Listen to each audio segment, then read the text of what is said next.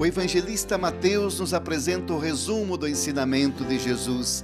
Sede misericordiosos, como também vosso Pai é misericordioso.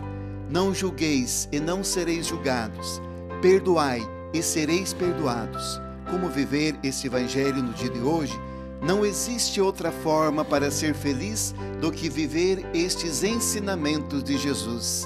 Sede misericordiosos, quer dizer, tenhais um coração que sabe sofrer junto, que sabe se compadecer do próximo, principalmente do que mais sofre.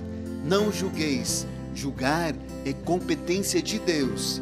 Perdoai, e assim sereis perdoados. Veja que boa notícia! Eu perdoo e serei perdoado de tudo.